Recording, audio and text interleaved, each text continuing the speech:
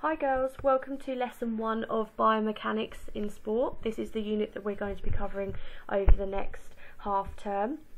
Um, things that are included in the unit are Newton's laws of motion, force, centre of mass, levers, and analysis of sport through the use of technology. So this lesson is all about Newton's laws and by the end of, of the video hopefully you'll be able to tell me what the three Newton's laws of motion are, um, being able to define them and also being able to apply them to sporting situations. Newton's laws help give us an understanding of why objects or humans um, react in the way they do to forces, and this can help us with our technical analysis of different skills um, and movements in sport. So let's get started. The first law of motion is the law of inertia. So this law states that a body will continue in a state of rest or uniform velocity unless it is acted upon by an external force. Now, this law is used when there is no net force applied to an object. What net force means is um, net force is the result of all the different forces acting on it. So if they are all balanced, then there is no net force, and therefore, um, it, you know, it doesn't mean that there is no force acting on that object. It just means that they are cancelling each other out. And when this happens, the object will remain stationary or will move at a constant speed in the same direction and it won't change that speed or direction or it won't start moving until another force or a change of size of force acts upon that object. So, for example, a sprinter, when they're in their full stride, they have four forces acting upon them, um, but those four forces cancel each other out exactly, and therefore the, the sprinter will travel at a constant speed.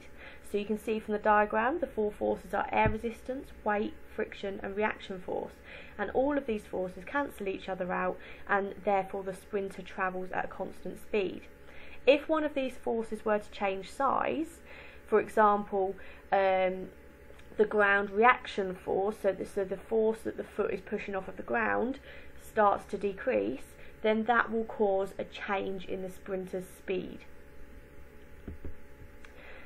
So, I'm going to let you pause the video here. I would like you to consider the law of motion and see if you can come up with some of your own sporting examples where you can apply this law of motion.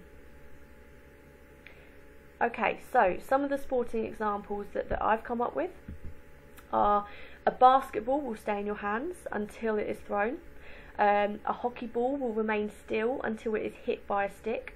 A football will roll until it's slowed by friction or stopped by another player. Um, a shot put will not fall from the air after it's been thrown without the application of gravity. So you can see here um, just to reiterate that if there is no force on the object, then there is no movement. Okay. However, once a force is applied, then we have movement. And the the force can be applied as a push or a pull. And a push or a pull can alter a body or an object in the following ways. It can cause a body to move, um, as seen previously. It can cause a body to accelerate or speed up. It can cause a body to decelerate or slow down. Um, it can cause something to change direction or it can cause them to change shape. So you can see here, this for an example, a sailboat. Once wind um, gets behind the sail, then it will cause the the sailboat to accelerate. And the same situation applies if the wind um, comes from a different direction, it will then cause that sailboat to decelerate. The sailboat will remain going at the same speed until that force hits it. Um, causing you know a body to change direction, we've got a tennis as a prime example. The ball will keep going in the same direction until the racket hits it and changes the direction changing shape. So a golf ball, once it is hit, the impact of, of the um, of the club head will actually cause the golf ball to distort slightly before it moves. the ball shape will be compressed by the force of the club head on impact. Okay, so the second law of motion is the law of acceleration. So we've got first law is law of inertia, second law is law of acceleration. So this states that when a force acts on an object, the rate of change of momentum experienced by the object is proportional to the size of the force and takes place in the direction in which the force acts. So this happens when there is a net force, so the, the forces applied to the object are not balanced.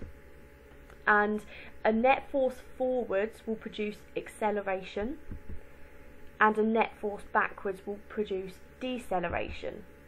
Um, a net force sideways will produce a change of direction, and obviously the bigger the force applied, the bigger the acceleration. So, for example, the sprinter slows down at the end of the race. Um, there's a net force backwards, so less ground reaction force, and the sprinter will decelerate. Okay, and here you can see the diagram. So see the arrows, they're balanced, but however, these two um, arrows are not balanced, and therefore the sprinter will decelerate. Okay. So again, I'm going to ask you to pause the video and have a think of if you can come up with some of your own sporting examples of when a force acts on an object, the motion experienced by the object is proportional to the size of the force and in the direction it's applied. Okay, so some of the sporting examples I've come up with. Um, so if you obviously kick a football hard, it will go a long way. Large force, you know, further distance. If you kick a football softly, it won't go very far.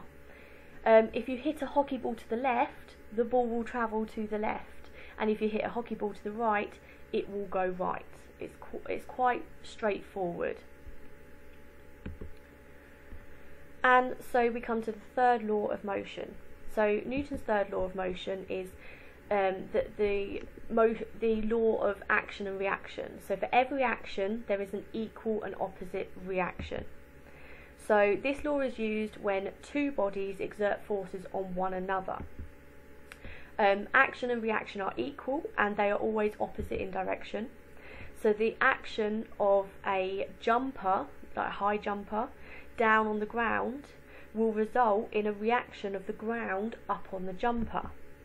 This reaction, so the, the jumper pushing really hard down on the ground, will cause the ground to push up on the jumper and the upward force on the jumper is the force that actually allows the jumper to take off. So here you can see a diagram. So you've got the reaction force up on the jumper in red and the black arrow is the jumper pushing down on the ground and that's what allows the jumper to take off from the ground. So again, can you pause the video and see if you can come up with some of your own sporting examples. Okay, so some of the examples I've come up with. So if a rugby player will push to the left with their foot, then they will swerve to the right because remember it's always opposite. If a high jumper needs to push down on the ground um, to be able to take off, we have already looked at that sport example. And then in football, a goalkeeper needs to push to the left with their feet in order to dive to the right to save a shot. So here you can see the example of a footballer. So you've got the action force, the foot is pushing down um, towards the right and therefore the, the, the goalkeeper is moving towards the left there. So you can see okay the reaction force is goalkeeper lifting into the air the action force is goalkeeper pushing down onto the floor in order to, to move so there are three other YouTube videos I would like you to take a look at these help just go back over over the Newton's laws and we'll explain them in different ways which may help you. Once you've watched these videos, I would like you then to use all of the information you've got from this video to complete worksheet 1, Newton's laws, which has been put on Go for Schools.